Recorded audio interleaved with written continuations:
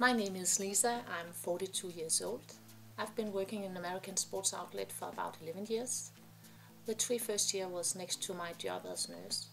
Here I'm in charge of the finance and do almost all the orders for equipment. I was forced into the business by my husband Peter and I'm still here because I love my job. I love the combination between the administration part and helping the customer finding the right equipment and my days is never alike. My name is Peter Hvidberg and I'm the owner of American Sports Outlet. I've been playing football for almost 20 years and have a lot of experience as a football player. On a daily basis, I'm working with sales and on a more strategic level of the business. I hope you enjoy our store and our products.